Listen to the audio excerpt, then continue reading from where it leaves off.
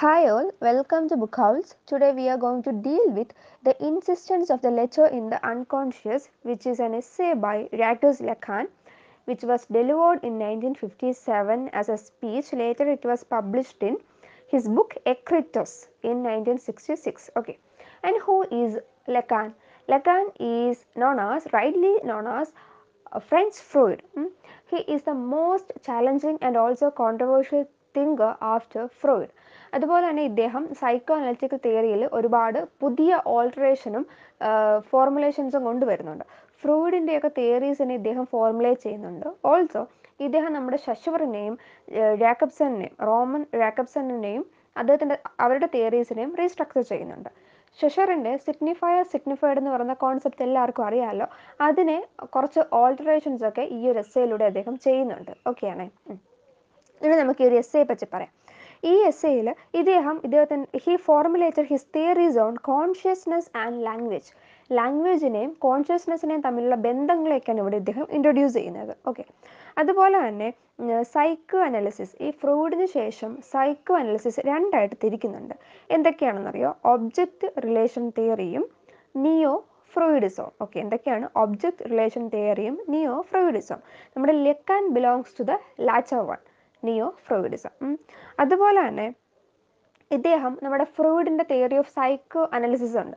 അതിനെ ഷഷറിന്റെ തിയറിയുമായിട്ട് റീഫോർമുലേറ്റ് ചെയ്യുന്നുണ്ട്. ഷഷറിന്റെ കോൺസെപ്റ്റുമായിട്ട് റീഫോർമുലേറ്റ് ചെയ്യുന്നുണ്ട്. അതെങ്ങനെയാണെന്ന് നമുക്ക് വഴിയെ വരാം. പറയാം. ഈ ഒരു എസ്സയുടെ സെൻട്രൽ ആർഗ്യുമെന്റ് എന്ന് പറഞ്ഞാൽ unconsciousness is structured like a language സിമ്പിളാണ് നമ്മൾക്ക് നമ്മുടെ ഓക്കെ ഓ പോയി. Okay Freud. ഫ്രോയിഡിന്റെ സൈക്കോളജിക്കൽ തിയറി എന്താണ്? നമ്മുടെ മൈൻഡ് എന്ന് വെച്ചാൽ ഒരു ഐസ്ബോഗ് പോലെയാണ്. അതുപോലെ തന്നെ അതിനകത്ത് ഇത് ഈഗോ സൂപ്പർ ഈഗോ തുടങ്ങിയ കാര്യങ്ങളൊക്കെ ഉണ്ട്. അങ്ങനെ കുറച്ച് കാര്യങ്ങൾ അദ്ദേഹം തരുന്നുണ്ടല്ലോ. അപ്പം ഇദ്ദേഹം ഇവിടെ നമ്മൾ ലെക്കാൻ ഇവിടെ ചെയ്യുന്നത് എന്താണെന്ന് വെച്ചാൽ ഫ്രോയിഡിന്റെ തിയറിയെ ഷഷറിന്റെ തിയറിയുമായിട്ട് തിയറി ഓഫ് ലാംഗ്വേജ് ആയിട്ട് ഒരു ബന്ധം കണ്ടുപിടിക്കുന്നുണ്ട്. ആ ഒരു ബന്ധം എങ്ങനെയാണ് പുനഃസ്ഥാപിക്കുന്നതെന്ന് നോക്കാം. ഇദ്ദേഹം പറയുന്നു അൺകോൺഷ്യസ്നെസ് അൺ നമ്മുടെ അൺകോൺഷ്യസ് എന്ന് വെച്ചാൽ ലാംഗ്വേജ് പോലെയാണ് സ്ട്രക്ചർ ചെയ്ത് വെച്ചിട്ടുണ്ട്. എങ്ങനെയാണ് ലാംഗ്വേജ് പോലെ അൺകോൺഷ്യസിനെ സ്ട്രക്ചർ ചെയ്തിട്ടുണ്ടെന്ന് നമുക്ക് നോക്കാം. ഈ ഒരു എസ്സേക്ക് മൂന്ന് പാർട്സ് ഉണ്ട്. The first one is meaning of the letter the second one is the letter in the unconscious the third one is the letter be and the other okay അപ്പോൾ let's discuss the first part first പാർട്ടിലെ meaning of the letter ആണ്. ഇവിടെ ഇദ്ദേഹം എന്താണ് letter ആ letter എന്ന് പറഞ്ഞ കോൺസെപ്റ്റിനെ introduce ചെയ്യുന്നുണ്ട്. Lacan ഈ ഒരു കോൺസെപ്റ്റിനെ ഡിസ്ക്രൈബ് ചെയ്യുന്നത് ദ മെറ്റീരിയൽ സപ്പോർട്ട് ഒരു minute the material support each concrete discourse borrows from language ഒന്ന് മനസ്സിലായി കാണൂലല്ലോ? ഞാൻ എക്സ്പ്ലെയിൻ ചെയ്ത് തരാം. അതായത് ലെക്കാൻ പറയുന്നു സൈക്കോ അനാലിസിസ് എന്ന് പറഞ്ഞാൽ നമ്മുടെ ഈ ഒരു അൺകോൺഷ്യസിനെയും അതുപോലെ തന്നെ ലാംഗ്വേജിന്റെയും ഒരു ഹോൾ സ്ട്രക്ചറിന്റെ ഡിസ്കവറി ആണെന്ന് പറയുന്നുണ്ട്. മനസ്സിലായി കാണുമല്ലോ അത് പറഞ്ഞുതരാം. ആദ്യം നമ്മൾ ഫ്രോയിഡിന്റെ കോൺസെപ്റ്റും ലെക്കാന്റെ കോൺസെപ്റ്റും അൺകോൺഷ്യസിനെ പറ്റിയിട്ടുള്ള രണ്ട് കോൺസെപ്റ്റുകളുണ്ട് അതിന്റെ വ്യത്യാസങ്ങൾ എന്താണെന്ന് പറയാം. നമ്മുടെ ഫ്രൂയിഡ് അൺകോൺഷ്യസ് മൈൻഡ് കൊണ്ട് ഉദ്ദേശിക്കുന്നത് റിപ്രഷനാണ് repression R E P R E S S I O N എന്താണ് റിപ്രഷൻ എന്നറിയോ? നമ്മുടെ മനസ്സിൽ ചിലപ്പം സൊസൈറ്റിക്ക് അൺഅക്സെപ്റ്റബിൾ അൺഅക്സെപ്റ്റബിൾ ആയിട്ടുള്ള കുറേ കാര്യങ്ങളുണ്ടായിരിക്കും. നമ്മുടെ സൂപ്പർ ഈഗോയ്ക്കും അതുപോലെ തന്നെ ഈഗോയ്ക്ക് മാത്രം എന്താണ് അവർക്ക് അക്സെപ്റ്റ് ചെയ്യാൻ പറ്റാത്ത പക്ഷേ ഇതിന് ഇതിന് ആവശ്യമുള്ള കുറേ കാര്യങ്ങൾ നമ്മുടെ അൺകോൺഷ്യസ് മൈൻഡിലുണ്ട് അത് പക്ഷേ സൊസൈറ്റിക്ക് അക്സെപ്റ്റബിൾ ആയിരിക്കത്തില്ല. അതുകൊണ്ട് നമ്മൾ എന്ത് ചെയ്യും? ആ ഒരു ഡിസയേഴ്സിനെ നമ്മൾ റിപ്രസ് ചെയ്യും. ഇങ്ങനെ അടക്കി വെക്കും. അങ്ങനെ ആ അടക്കി വെക്കുന്ന സാധനങ്ങളായിരിക്കും റിപ്രഷൻ എന്ന് പറയുന്നത്. ഓക്കെ ഇതാണ് റിപ്രഷൻ അപ്പോൾ ഇദ്ദേഹം ഫ്രൂയിഡ് പറഞ്ഞു ഈ റിപ്രഷൻ എന്ന് പറഞ്ഞാൽ ഹ്യൂമൻ സൈക്കിന്റെ ഒരു പാർട്ട് തന്നെയാണ്. അതായത് ഇദ്ദേഹം ഹ്യൂമൻ സൈക്കിനെ ഒരു ഐസ്ബർഗുമായിട്ട് കമ്പയർ ചെയ്യുന്നുണ്ട്. നമ്മൾക്ക് ഐസ്ബർഗിന്റെ ടിപ്പ് മാത്രമേ നമ്മൾ കാണത്തുള്ളൂ. ആ ടിപ്പാണ് മനുഷ്യന്റെ ഈഗോയും സൂപ്പർ ഈഗോ എന്ന് പറയുന്നത്. ഇത് അതിന്റെ താഴേക്ക് ഒരുപാട് കിടപ്പുണ്ട്. ടിപ്പ് വളരെ വിസിബിൾ ആണ്. അതുപോലെ ടിപ്പ് മാത്രമാണ് വിസിബിൾ അതിനെക്കാട്ടിയും എക്സ്റ്റെൻസീവ് ആയിട്ടുള്ള ഹയർ വോളിയംസ് ഉള്ള താഴേക്ക് കിടക്കുകയാണ് മനുഷ്യന്റെ ഹ്യൂമൻ സൈക്ക് എന്ന് പറയുന്നത്. എന്നാൽ നമുക്ക് കാണാൻ പറ്റില്ല. ഇതായിരുന്നു ഫ്രോയിഡിന്റെ വ്യൂ പക്ഷേ ലെക്കാൻ ഈ ഒരു വ്യൂയെ കംപ്ലീറ്റ് ആയിട്ട് റിജക്റ്റ് ചെയ്യുന്നുണ്ട്. He says that unconscious is structured like a language and can be located outside individual that is inter subject അപ്പം ലെക്കാൻ പറയുന്നു.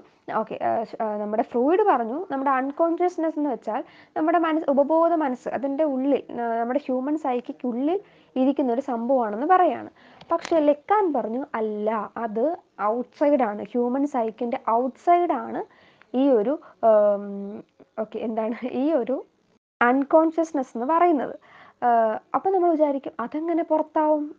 ഹ്യൂമൻ സൈക്കിന്റെ അകത്തല്ലേ ഉപബോധ മനസ്സുള്ളത്? ലെക്കാൻ പറയുന്നു ഒരു ലാംഗ്വേജ് പോലെയാണ് അൺകോൺഷ്യസ്നെസ്സിനെ സ്ട്രക്ചർ ചെയ്ത് വെച്ചിരിക്കുന്നത്.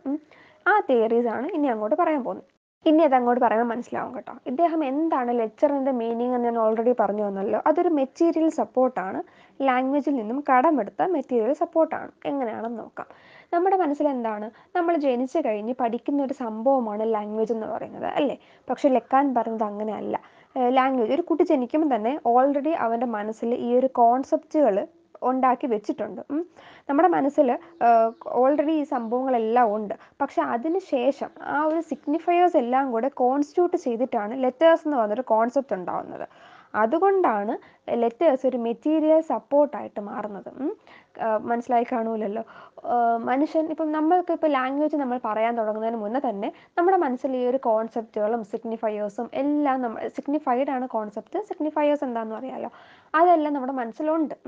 ഇതെല്ലാം പുറത്തേക്ക് കൊണ്ടുവരാനുള്ള ആ ഒരു മെറ്റീരിയൽ സപ്പോർട്ട് മാത്രമാണ് ലെക്ചർ എന്ന് പറയുന്നത്. ഇതൊക്കെ നമ്മുടെ മനസ്സിൽ ഓൾറെഡി ഉണ്ട്. അത് മനസ്സിലായല്ലോ? Okay the next point is the child expresses child അഥവാ subject.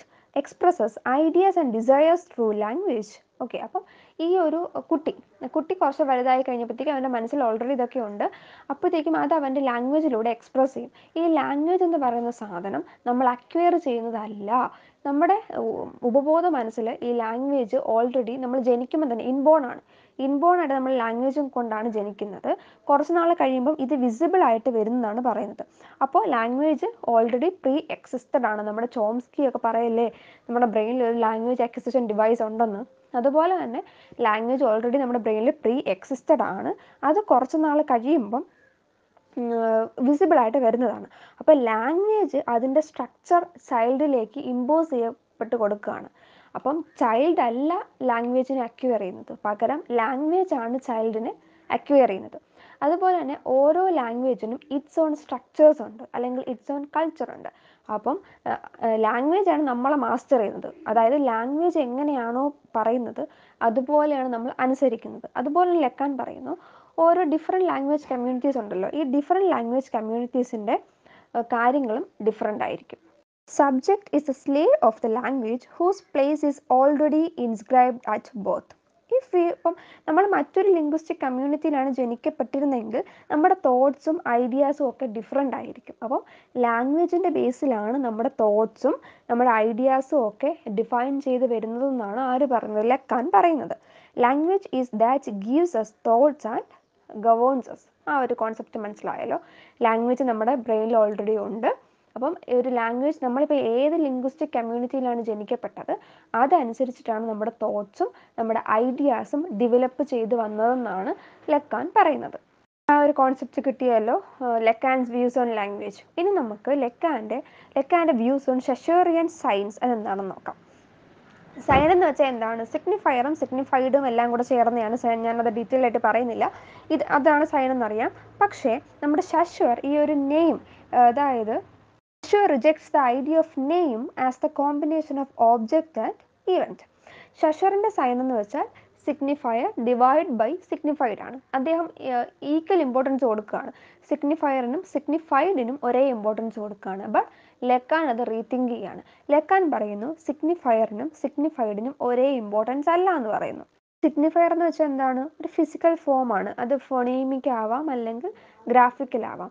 അതാണ് സിഗ്നിഫയർ എന്ന് പറയുന്നത്. വൈൽ സിഗ്നിഫൈഡ് എന്ന് വെച്ചാൽ എന്താണ്? നമ്മുടെ മനസ്സിലുണ്ടാവുന്ന ഒരു മെന്റൽ കോൺസെപ്റ്റ് ആണ് സിഗ്നിഫൈഡ് ഇത് രണ്ടും കൂടെ ചേരുമ്പോഴാണ് സൈൻ ഉണ്ടാകുന്നത് അപ്പം ഇദ്ദേഹം പറയുന്നു ശശോർ പറയുന്ന പോലെ സിഗ്നിഫയറിനും സിഗ്നിഫൈഡിനും ഈക്വൽ ഇമ്പോർട്ടൻസ് അല്ല ദേ ആർ ഡിഫറെന്റ് ഒന്ന് ഒന്നിനെക്കാട്ടിയും സുപ്പീരിയർ ആണ്. അതെന്താണെന്ന് നമുക്ക് പിന്നീട് ഡിസ്കസ് ചെയ്യാം. ഡയഗ്രാം ഓർമ്മയുണ്ടല്ലോ? Okay then there is an extra linguistic barrier which distinguish signifier and signifier അതായത് നമ്മുടെ സിഗ്നിഫയറിന്റെയും സിഗ്നിഫൈഡിന്റെയും ഇടയ്ക്ക് ഒരു എക്സ്ട്രാ ലിംഗ്വിസ്റ്റിക് ബാരിയർ ഉണ്ട്. ഒരു സ്ട്രിങ് പോലത്തെ ഒരു ഇൻവിസിബിൾ ബാരിയർ ഉണ്ട്. ഇത് എവർ തമ്മിൽ ഡിഫറൻഷിയേറ്റ് ചെയ്യുന്നു എന്ന് പറയുന്നുണ്ട്. ആ ഒരു ബാരിയർ എന്താണെന്ന് നോക്കാം. ലെക്കാനാണ് പറയുന്നത് കേട്ടോ. അതിന് ലെക്കാൻ ഒരു എക്സാമ്പിൾ തരുന്നുണ്ട്. റെയിൽവേ സ്റ്റേഷനിൽ ഒരു എക്സാമ്പിൾ തരുന്നുണ്ട്. രണ്ട് കുട്ടികൾ ഒരു റെയിൽവേ സ്റ്റേഷനിൽ ഇങ്ങനെ നിൽക്കുകയാണ്. അപ്പം ഒരു റെയിൽ അപ്പം ഒരു റെയിൽ ഇങ്ങനെ ഒരു വേർതിരിവ് പോലെ ഇരിപ്പുണ്ട്. അപ്പോൾ കുട്ടികൾ രണ്ട് സൈഡിൽ നിൽക്കുകയാണ്.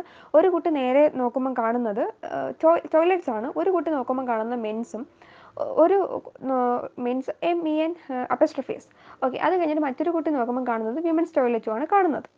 അപ്പം ഒരു ഒരു കുട്ടി മറ്റേനോട് ചോദിക്കുക നീ എന്താ കാണുന്നത്? അപ്പം പറയും ഞാൻ കാണുന്നത് മെൻസ് ടോയ്ലറ്റ് ആണ്. മറ്റേ കുട്ടി പറയും വിമൻസ് ടോയ്ലറ്റ് ആണ്. അപ്പോൾ അവർ തമ്മിൽ തമ്മിൽ അടി കൂടെയാണ് പക്ഷേ ആക്ച്വലി ആ ഒരു സിഗ്നിഫൈഡ് ആ ഒരു കോൺസെപ്റ്റ് എന്ന് വെച്ചാൽ എന്താണ്?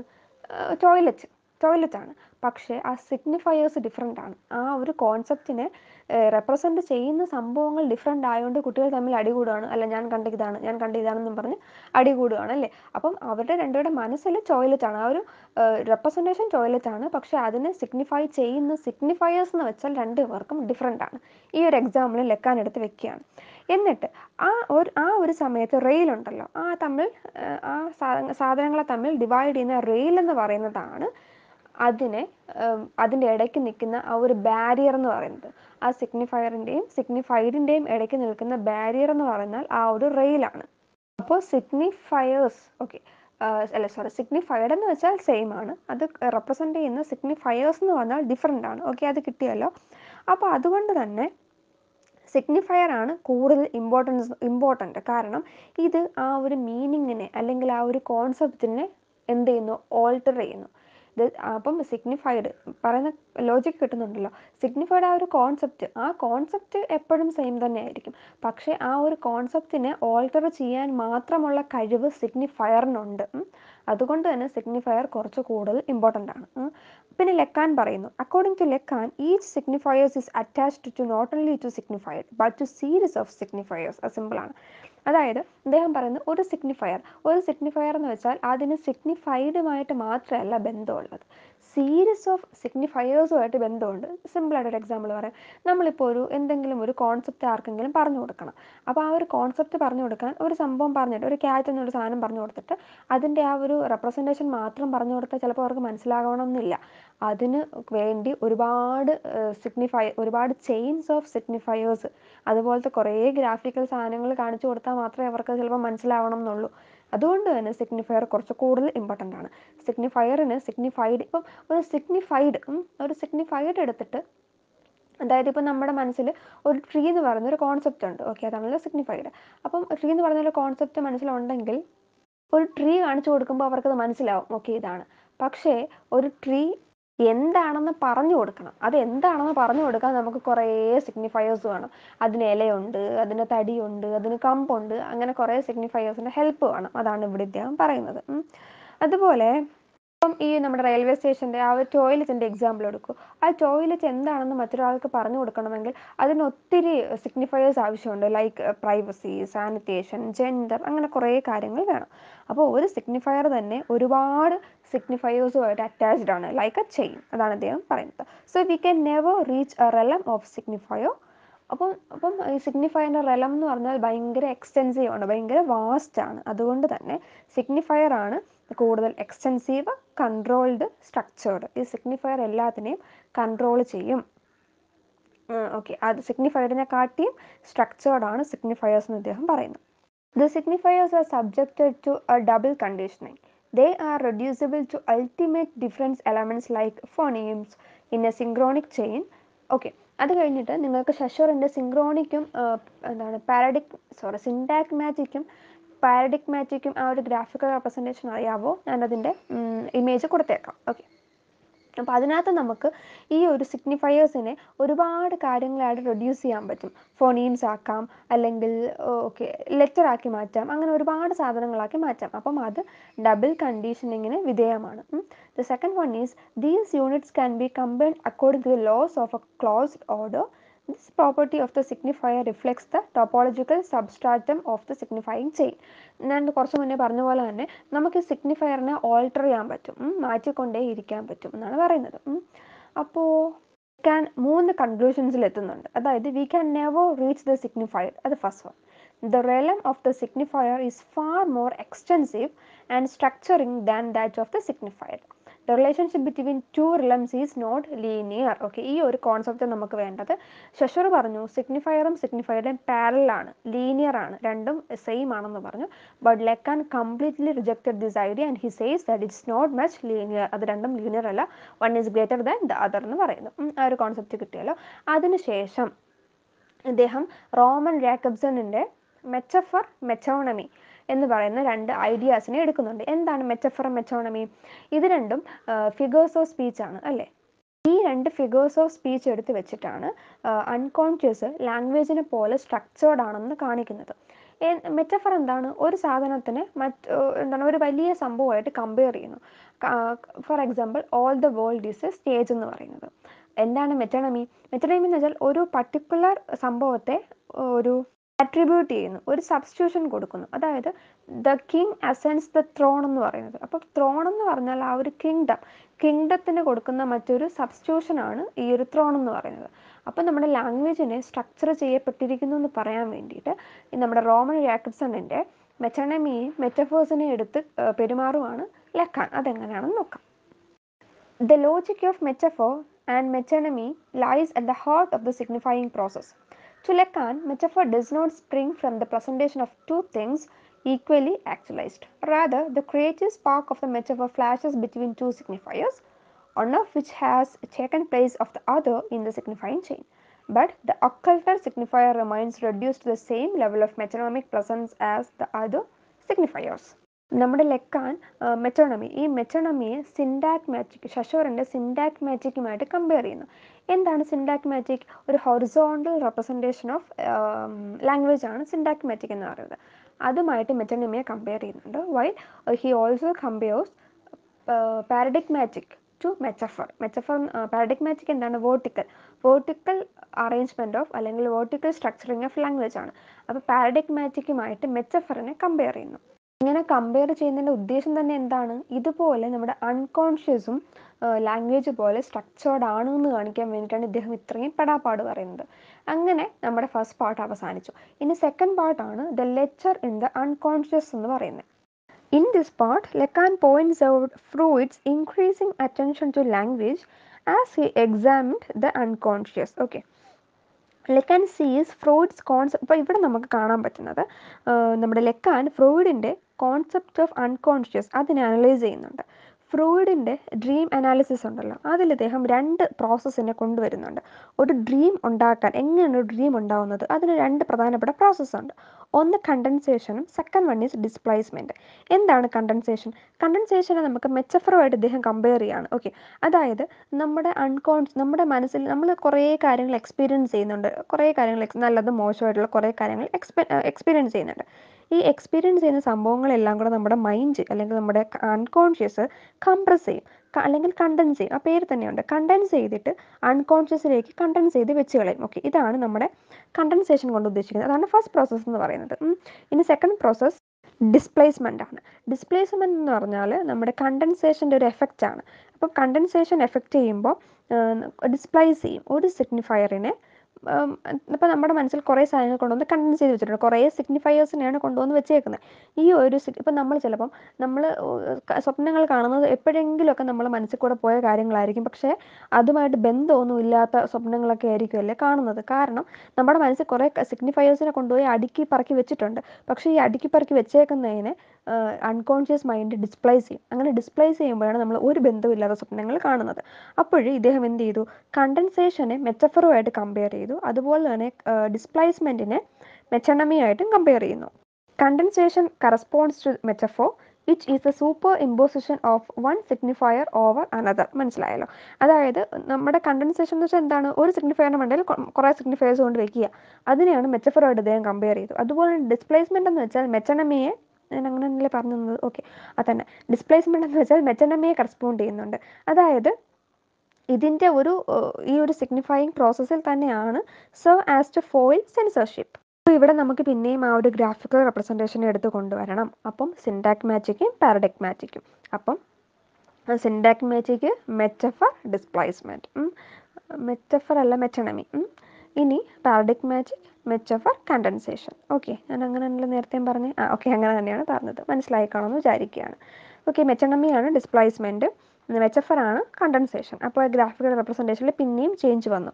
അപ്പം എന്തൊക്കെയുണ്ട് ഇപ്പം ഗ്രാഫിക്കൽ റെപ്രസെന്റേഷനിൽ ലെക്കാന്റെ ഐഡിയ ആണ് ഈ മെച്ചഫ് അല്ല സോറി ശശ്വറിന്റെ ഐഡിയ ആണ് പാരഡിക് മാജിക്കും സിൻഡാക് മാജിക്കും അതവിടെ ഉണ്ടേ? ജാക്കബ്സണിന്റെ ആണ് മെറ്റഫറും മെറ്റണമിയും അതും അവിടെ ഉണ്ട്. അതുപോലെ ഫ്രൂയിഡിന്റെ ആണ് ഡിസ്പ്ലേസ്മെന്റും കണ്ടൻസേഷനും അതും അവിടെ ഉണ്ട്. അപ്പം ഇതിനെ എല്ലാത്തിനെയും കൂടി ഇക്വേറ്റ് ചെയ്യുന്ന വഴി ലെക്കാൻ എന്താണ് ചെയ്തത്? Language is structured like like like like language sorry unconscious is structured like language ആ ഒരു ആശയം ഇവിടെ പ്രൂവ് ചെയ്തു. കാരണം എല്ലാം ഈക്വൽ ആണെന്ന് ഇക്വേറ്റ് ചെയ്യുന്നതിലൂടെ അത് പ്രൂവ് ചെയ്തു. മനസ്സിലായല്ലോ? മാസ് പോലെ ഇദ്ദേഹം ഇക്വേറ്റ് ചെയ്ത് പ്രൂവ് ചെയ്ത് കളഞ്ഞു. ഇനി പിന്നീട് ഇദ്ദേഹം നേരെ ഇനി അടുത്ത ആരുടെ മണ്ടേക്കാണെന്ന് നോക്കട്ടെ. Lacan now turns to the place of the subject in the signifying process next ഇദ്ദേഹം സബ്ജക്റ്റ് സിഗ്നിഫയിങ് പ്രോസസ്സിൽ സബ്ജക്റ്റിന്റെ സ്ഥാനം എന്താണെന്ന് നോക്കുന്നുണ്ട്. ഇവിടെ അദ്ദേഹം അതർ എന്ന് പറയുന്ന ഈ ഒരു കോൺസെപ്റ്റിനെ പറ്റി സംസാരിക്കുന്നുണ്ട്. അതർ മിറർ ഇമേജിനെ പറ്റിയിട്ടൊക്കെ വായിച്ചിട്ടുള്ളവർക്ക് അതർ എന്താണെന്ന് മനസ്സിലാക്കാം. സെൽഫ് ഹുഡ് വീഡിയോ ചെയ്തിട്ടുണ്ട്. കണ്ടാൽ മതി നല്ല വീഡിയോ ആണ്. സെൽഫ് ഹുഡ് ഞാനല്ല ചെയ്തേ. അതുകൊണ്ട് എത്ര ധൈര്യമായിട്ട് പറയുന്നത് selfhood is a contribution of the other okay അപ്പം അതായത് അദ്ദേഹം റെനെ ദക്കാർത്ത് റെനെ ദക്കാർത്ത് എന്ന് പറഞ്ഞ ഒരു ഫിലോസഫറിന്റെ ഐഡിയാസിനെ ട്രേസ് ട്രേസ് ചെയ്യുന്നുണ്ട്. റെനെ ദക്കാർത്ത് പറഞ്ഞ ഒരു ഡിറ്റോ ഉണ്ട്. കൊഗീറ്റോ എർഗോ സം കൊഗീറ്റോ എർഗോ സം അതിന്റെ English ട്രാൻസ്ലേഷനാണ് I think therefore I am അതിന്റെ മീനിങ് എന്താണ്? ഞാൻ എന്ന് പറയുന്നത് ഐ ആം മൈ തോട്ട്സ് എന്റെ തോട്ട്സ് എന്തൊക്കെയാണോ അതാണ് ഞാൻ. ഇങ്ങനെയാണ് റെനെ ദക്കാർത്തെ പറഞ്ഞത്. ദെക്കാർത്ത് അതിനെ ലെക്കാൻ കംപ്ലീറ്റ്ലി റിവേഴ്സ് ചെയ്യുന്നുണ്ട് റിജക്റ്റ് ചെയ്യുന്നുണ്ട്. ഡെക്കാർത്ത് പറഞ്ഞു ഒരു സബ്ജക്റ്റ് അല്ലെങ്കിൽ ഒരു വ്യക്തി നമുക്കൊരു വ്യക്തി എന്ന് കണക്കാക്കാം. ആ ഒരു വ്യക്തി വ്യക്തി ഉണ്ടാക്കുന്നത് അവന്റെ തോട്ട്സ് ആണ് അവന്റെ ചിന്തകളാണ് ഒരു വ്യക്തി ഉണ്ടാക്കുന്നത്. പക്ഷേ ലെക്കാനെ റിജക്റ്റ് ചെയ്ത് പറയുന്നു മറ്റൊരു വേർഷൻ കൊടുക്കുകയാണ് കേട്ടോ. I think I am where I think I am അതായത് എന്റെ തോട്ട്സ് എന്ന് പറഞ്ഞാൽ അത് എന്റെ സ്വന്തമല്ല. It is given to us by the language അതായത് എന്റെ തോട്ട്സ് എന്ന് പറയുന്നത് ലാംഗ്വേജ് ആണ് എനിക്ക് തന്നത്. നമ്മൾ ഓൾറെഡി പറഞ്ഞു നമ്മൾ ലിംഗ്വിസ്റ്റിക് ഓരോ ലിംഗ്വിസ്റ്റിക് കമ്മ്യൂണിറ്റി മാറുന്നതനുസരിച്ച് നമ്മുടെ ഐഡിയാസും തോട്ട്സും മാറിക്കൊണ്ടേയിരിക്കും. അപ്പോഴേ നമ്മൾ നമ്മുടെ തോട്ട്സ് എന്ന് പറഞ്ഞ് വിശ്വസിച്ച് വെച്ചിരിക്കുന്ന സാധനങ്ങൾ നമ്മുടെ സ്വന്തമല്ല. അത് ലാംഗ്വേജ് നമുക്ക് തന്ന ഒരു സംഭവമാണെന്ന് അദ്ദേഹം പറയാണ്. My thoughts are the part of a large signifying process നമ്മുടെ തോട്ട്സ് എന്ന് പറഞ്ഞാൽ ഒരു വലിയ സിഗ്നിഫയിങ് പ്രോസസ്സിന്റെ ഒരു ഭാഗം മാത്രമാണെന്നാണ് അദ്ദേഹം പറയുന്നത്. ഞാൻ ലെക്കാന്റെ സംഭവം തെറ്റായിട്ടാണ് പറഞ്ഞു തന്നെ ഒന്നും കൂടെ പറഞ്ഞുതരാം. I think therefore I am where I think there I am മനസ്സിലായില്ലേ? ഓക്കെ റെനെ ദക്കാർത്തെ പറഞ്ഞ് ശരിയാണ്. നിങ്ങൾ നമ്മുടെ തോട്ട്സ് ആണ് നമ്മളെ മാറ്റിയെടുക്കുന്നത്. അതായത് I think therefore I am അത് പറഞ്ഞത് വളരെ ശരിയാണ്. പക്ഷേ where I think there I am വെച്ചാൽ ഞാൻ എവിടെ വെച്ചാണോ ചിന്തിക്കുന്നത് അവിടെയാണ് ഞാൻ. അത് ലാംഗ്വേജിന്റെ ഇമ്പോർട്ടൻസ് ആണ്. ഏത് ലിംഗ്വിസ്റ്റിക് കമ്മ്യൂണിറ്റിയിലാണോ ഞാൻ ഉള്ളത് അവിടുത്തെ ആശയങ്ങളായിരിക്കും ഞാൻ ചിന്തിക്കുന്നത്. അങ്ങനെയാണ് അദ്ദേഹം പറയുന്നത് ഓക്കെ മനസ്സിലായല്ലോ? അപ്പോൾ ലാംഗ്വേജാണ് നമ്മളെ മാസ്റ്റർ ചെയ്യുന്നത്. നമ്മളല്ല ലാംഗ്വേജിനെ മാസ്റ്റർ ചെയ്യുന്നത്. പകരം ലാംഗ്വേജാണ് നമ്മളെ മാസ്റ്റർ ചെയ്യുന്നത്. അത് നമുക്കും അത് അത്യാവശ്യം ശരിയാണെന്ന് എനിക്കും തോന്നുന്നുണ്ട്. അപ്പം നമ്മളിപ്പോൾ പുതിയ പുതിയ ലാംഗ്വേജ് പഠിക്കുമ്പം പുതിയ പുതിയ ആശയങ്ങളാണ് നമ്മുടെ മനസ്സിലേക്ക് വരുന്നത്. ഉം. ഇപ്പോൾ മലയാളം മലയാളം പറഞ്ഞാൽ ഒരു ലിംഗ്വിസ്റ്റിക് കമ്മ്യൂണിറ്റിയാണ് പക്ഷെ നമ്മൾ തമിഴൻസ് ആ ഒരു തമിഴ് ലാംഗ്വേജ് പോകുമ്പം അത് മറ്റൊരു ലിംഗ്വിസ്റ്റിക് കമ്മ്യൂണിറ്റിയിലേക്ക് മാറും. അവരുടെ തോട്ട്സും അവരുടെ ആ ഒരു ആശയങ്ങളും ഒക്കെ ഭയങ്കര ഡിഫറെന്റ് ആണ് ദാൻ അസ് ഇപ്പം ഇംഗ്ലീഷിലേക്ക് പോകൂ അതും അപ്പോൾ ആ ഒരു ലൊക്കാലിറ്റിയുടെ പ്രത്യേകതയല്ല. പകരം ഓക്കെ നമ്മുടെ കേരളം. കേരളത്തിൽ തന്നെ ഒരു ലാംഗ്വേജ് ആണ്. പക്ഷേ അത് ഡിഫറെന്റ് രീതിയിലാണ് സംസാരിക്കുന്നത്. അതുപോലെ തന്നെയാണ് ഒരു ഒരു കേരളം ഒന്നേ ഉള്ളൂ. പക്ഷേ അവിടുത്തെ ഓരോ ടൈപ്പ് ഓഫ് ലാംഗ്വേജ് സംസാരിക്കുന്നവരുടെ ചിന്തകളും അവരുടെ മനസ്സും ഒക്കെ ഒക്കെ ഡിഫറെന്റ് ആയിരിക്കും. അല്ലെങ്കിൽ ഇപ്പം നമ്മുടെ ഒരു സദേൺ പാർട്ടിലുള്ള ആൾക്കാരെ പോലല്ല കേരളത്തിന്റെ വടക്കോട്ടുള്ള ആൾക്കാരുടെ രീതി എന്ന് പറയുന്നത്. ഇപ്പം നമ്മൾ അവർ ഇപ്പം അവർ കുറച്ചും കൂടെ കൂളാണ് ഞാനിപ്പോൾ സദാൻ പാട്ടിലാണ് പക്ഷെ അവർ കുറച്ചും കൂടെ കൂൾ കുറച്ചും കൂടെ നമ്മളെക്കാട്ടി നല്ല മനുഷ്യരാണ്. ഭയങ്കര സെൽഫിഷ് ഒന്നും അല്ലാത്ത ആൾക്കാരാണ്. അങ്ങോട്ടുള്ള ആൾക്കാരെന്ന് പൊതുവേ പറയപ്പെടുന്നത്. അങ്ങോട്ടുള്ള ആൾക്കാർ കുറച്ച് കൂടുതൽ സെൽഫിഷാന്ന് പറയുന്നു. മേ ബി അതൊരു ലിംഗ്വിസ്റ്റിക്സ് ആ ഒരു ലാംഗ്വേജ് വേരിയേഷന്റെ ഭാഗമാണെന്ന് നമുക്ക് വിശ്വസിക്കാം. അങ്ങനെയാണ് ലെക്കാൻ പറയുന്നത് കേട്ടോ. ഓക്കെ അത് മനസ്സിലായിക്കോണെന്ന് വിചാരിക്കുന്നു. ഓക്കെ ദെൻ ഇനിയിപ്പോൾ എന്താ പറയുക ഇനിയൊക്കെ നമുക്ക് തേർഡ് പാർട്ടിലേക്ക് പോവാം. തേർഡ് സെക്ഷനിൽ പറയുന്നത് തേർഡ് സെക്ഷന്റെ പേരാണ് ദ ലെച്ചോ ബീയിങ് ആൻഡ് ദ അതർ ഇവിടെ നമ്മുടെ ഫ്രൂയിഡ് അദ്ദേഹം ഈ ഒരു സൈക്കോ അനാലിറ്റിക് തിയറിയിൽ അദ്ദേഹത്തിന്റെ കുറേ ഐഡിയാസിനെ കോംപ്രമൈസ് ചെയ്തിട്ടുണ്ട്. ആ ഒരു കോംപ്രമൈസ് ചെയ്ത വ്യൂസ് എന്തൊക്കെയാണെന്നാണ് ലെക്കാൻ ഡിസ്കസ് ചെയ്യുന്നത്. Thus okay sorry the third section of the Lacan's paper is the ലെച്ചോ being and the other in this section Lacan shows how psycho analysis has been bypassing the truth discovered by Freud, which affirms the self's radical eccentricity to itself with the man is confronted. The notion of the unconscious indicates that the self bears on otherness within itself, but psychoanalysis has compromised his view. Sorry, this view. Okay. അപ്പം അതായത് നമ്മുടെ self എന്ന് പറയുന്നത് സെൽഫിനകത്ത് തന്നെ ഒരു അതേർനെസ് എന്ന് പറഞ്ഞൊരു കോൺസെപ്റ്റും ഉണ്ട്. പക്ഷേ ഈ ഒരു കോൺസെപ്റ്റിനെ സൈക്കോ അനാലിസിസ് കോംപ്രമൈസ് ചെയ്തിട്ടുണ്ടെന്ന് പറയുന്നു. അപ്പോൾ അതിനെപ്പറ്റി അധികം ഡീറ്റെയിൽഡ് ആയിട്ട് സൈക്കോ നമ്മുടെ ഫ്രൂയിഡ് സംസാരിച്ചിട്ടില്ല എന്നാണ് പറയുന്നത്. ഓക്കെ ഇതാണ് തേർഡ് പാർട്ടിയിൽ പറയുന്നത്. ഇനി നമുക്ക് കൺക്ലൂഷനിലേക്ക് പോവാം. Thus Lacan argues that the unconscious is as constituted by desire not only structured like language sorry Lacan പറയുന്നത് നമ്മുടെ ലാംഗ് ഒരു ലാംഗ്വേജിനെ പോലെ തന്നെയാണ് മനസ്സിനെ സ്ട്രക്ചർ ചെയ്ത് വെച്ചേക്കുന്നത്. നമ്മുടെ അൺകോൺഷ്യസിനെ ഒരു ലാംഗ്വേജിനെ പോലെ സ്ട്രക്ചർ ചെയ്യപ്പെട്ട് വെച്ചിട്ടുണ്ടെന്ന് പറയുന്നു. എങ്കിൽ പോലും ലാംഗ്വേജ് പോലെ മാത്രമല്ല ഡിസയേഴ്സും ഉണ്ട്. ഫ്രൂയിഡ് പറയുന്ന പോലെ ഡിസയേഴ്സും റിപ്രഷനും ഒക്കെ ഉണ്ട്. ലാംഗ്വേജ് പോലെ മാത്രമല്ല. അപ്പം ഈ ഒരു അദ്ദേഹം രണ്ട് ഐഡിയാസിനെയും കൂടെ പാരലൽ ചെയ്ത് പറയാണ്. ഇനി Lacan's notion of the unconscious is thus different from ഫ്രൂയിഡിൻ unconscious okay അത് മനസ്സിലായല്ലോ? ഫ്രോയിഡ് റിപ്രഷന് മാത്രം ഇമ്പോർട്ടൻസ് കൊടുത്തു. അതായത് നമ്മുടെ ഇതിനും ഈഗോയ്ക്കും ഒക്കെ ഇമ്പോർട്ടൻസ് കൊടുത്തപ്പം ഇദ്ദേഹം രണ്ടിനും ഇമ്പോർട്ടൻസ് കൊടുത്തു. അതായത് അൺകോൺഷ്യസ് ഈ സ്ട്രക്ചേർഡ് ലൈക്ക് ലാംഗ്വേജ് എന്നും പറഞ്ഞു. അതുപോലെ തന്നെ ഈ ഒരു റിപ്രഷനും ഇദ്ദേഹം ഇമ്പോർട്ടൻസ് കൊടുത്തു. While Freud views unconscious as a repository of repressed repository of repressed desires, Lacan sees the unconscious as something exterior which can be spotted in inner subject interaction. അതായത് നമ്മുടെ ഞാൻ ഓൾറെഡി പറഞ്ഞതാണ് ഫ്രോയിഡ് നമ്മുടെ മനസ്സിന്റെ അകത്തുള്ള എന്തോ ഭയങ്കര സംഭവങ്ങളാണ് അൺകോൺഷ്യസ് എന്ന് പറഞ്ഞപ്പം ലെക്കാൻ പറഞ്ഞു അതൊരു ഇന്റർ സബ്ജക്റ്റ് ആണ്. പുറത്തുമുണ്ട്. പുറത്തുള്ള കാര്യങ്ങളും സ്വാധീനിക്കുന്നുണ്ട്. റിപ്രസ്ഡ് തോട്ട്സ് മാത്രമല്ല. ആ പുറത്തുള്ള കാര്യങ്ങളാണ് ലാംഗ്വേജ് എന്ന് പറഞ്ഞ ഒരു ഐഡിയയിലൂടെ ഇദ്ദേഹം നമ്മളോട് പറഞ്ഞു തന്നത് The unconscious is the discourse of the other, the other being the whole symbolizing system including language and culture. Okay. അപ്പം അൺകോൺഷ്യസ് എന്ന് പറഞ്ഞാൽ അതിനെ ലാംഗ്വേജും കൾച്ചറും ഒക്കെ എന്ത് ചെയ്യും?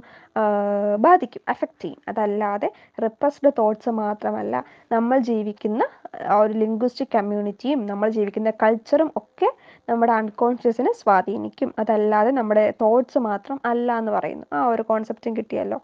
In this way, Lacan through insisting the sorry insisting on the agency of the lecho in the unconscious brings out sorry brings out the truly radical and subversive nature of otherness discovered by Freud the unconscious അതായത് ഫ്രൂയിഡിന്റെ ആ ഒരു unconscious എന്ന് പറഞ്ഞൊരു idea ഇദ്ദേഹം reformulate ചെയ്യുന്നുണ്ട് അതിലേക്ക് ഷഷറിന്റെ ഐഡിയാസിനെയും Roman രാക്കബ്സണിന്റെ ഐഡിയാസിനെയും ഒക്കെ incorporate ചെയ്യാൻ വേണ്ടി ലെക്കാൻ ശ്രമിക്കുന്നു ഇതാണ് നമ്മുടെ എസ് എ മനസ്സിലായി കാണുമെന്ന് ഞാൻ വിശ്വസിക്കുകയാണ്. Thank you for watching